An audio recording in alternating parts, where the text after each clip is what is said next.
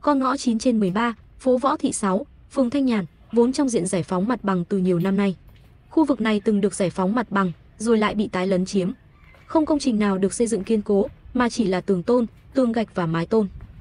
Đi sâu từ mặt phố vào hơn 100 mét, qua nhiều đoạn vòng cua, Vũ Văn Thành, nhà phân phối khí cười, đã chọn thuê không gian cỡ gần 10 mét vuông, làm nơi tập kết và vận chuyển hàng.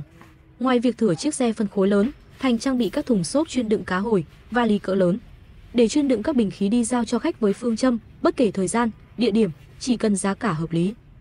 Sau khá nhiều thời gian trinh sát, đội cảnh sát kinh tế công an quận Hai Bà Trưng qua biện pháp nghiệp vụ nắm bắt để xây dựng kế hoạch đấu tranh.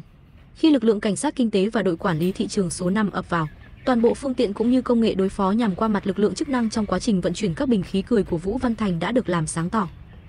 Theo thông tin từ lãnh đạo đội quản lý thị trường số 5, thành phố Hà Nội, tính từ đầu năm 2024 đến nay, Liên quân Công an quận Hai Bà Trưng, đội quản lý thị trường số 5 đã phát hiện, kiểm tra 15 vụ vi phạm về khí cười, tổng mức phạt hành chính khoảng 320 triệu đồng với trị giá hàng hóa trên 400 triệu đồng, tiêu hủy hơn 500 bình đựng khí cười.